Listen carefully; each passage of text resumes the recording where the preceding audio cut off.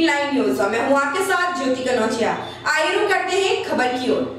बारह घंटे के अंदर पुलिस ने पप्पी खान हत्याकांड के आरोपी एक गिरफ़्तार पाँच की तलाश शुरू। गढ़वा पुलिस ने कल रात सोनपुरवा में पप्पी खान के हत्या का उद्बोधन करते हुए 12 घंटे के अंदर एक अपराधी को गिरफ़्तार कर लिया। जानकारी देते हुए अनुमंडल पुलिस पदाधिकारी अवध कुमार यादव, पुलिस निरीक्षक सह थाना प्रभारी राजीव कुमार सिंह ने संयुक्त रूप से पत्रकार वार्ता के दौरान दी जानकारी देते हुए एसडीपीओ अवध कुमार यादव ने बताया कि कल शहर के सोनपुरवा स्थित रेलवे क्रॉसिंग के उस पार सोनपुरवा निवासी पप्पी खान की हत्या अज्ञात अपराधियों के द्वारा किया गया था।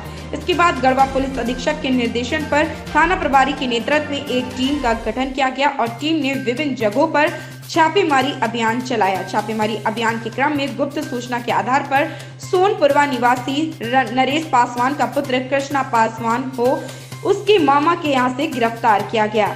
एसडीपीओ ने बताया कि कृष्ण पासवान ने इस कांड में अपनी संलिप्तता स्वीकार करते हुए बताया कि उचरी मोहल्ला निवासी शाहबाज खान ने सोनपुरवा रेलवे क्रॉसिंग पार के समीर खान, जान खान उचरी निवासी बिलाई उचरी निवासी टीपू पवड़िया ने मिलकर पप्पी खान की गोली मारकर हत्या कर दी थी। ग्रीन लाइन न्यूज़ के साथ मैं हूँ ज्योति कनौजिया, धन्यवाद।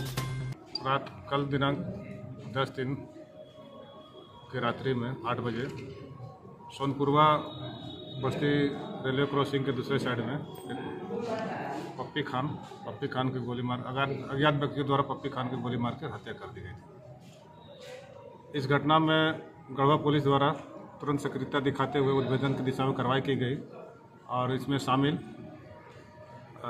अभियुक्त कृष्णा पासवान की गिरफ्तारी हुई। कृष्णा पासवान की गिरफ्तारी के बाद ये सारा मामला उद्भेदन हो गया है और इसमें संलिप्त अन्य लोगों की भूमिका और नाम भी आया है।